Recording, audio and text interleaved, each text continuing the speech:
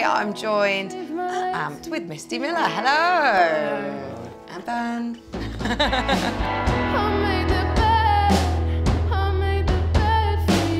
You're quite young, but you've been recording for a long time and writing for a long time. I started writing when I was like 14, 13, and then did the first album when I was 15.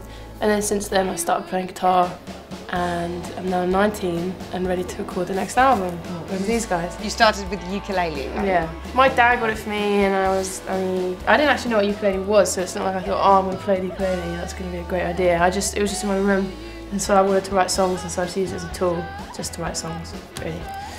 And then I moved on to the guitar quite quickly after recording the first album.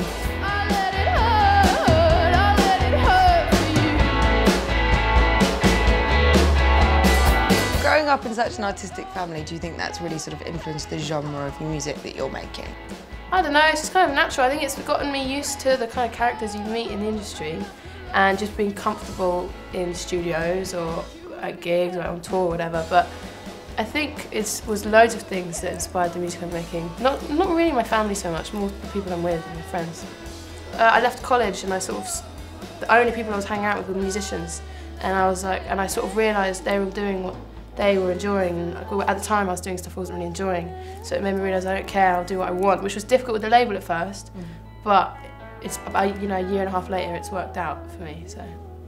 One thing I made sure is I didn't just want to be like another kind of girl like with an acoustic guitar and that's what my label really wanted to kind of put me in and the whole folky scene and I yeah that whole Laura Marling kind of like all that which I was never into mm. and so I did make sure I just wasn't categorised as that because it's not what I do.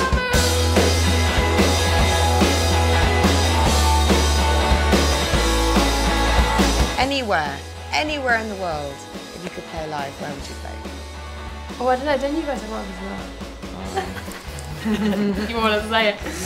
Where would you play, Jeff? Um, I play in Karachi. Karachi? Don't know, where? France.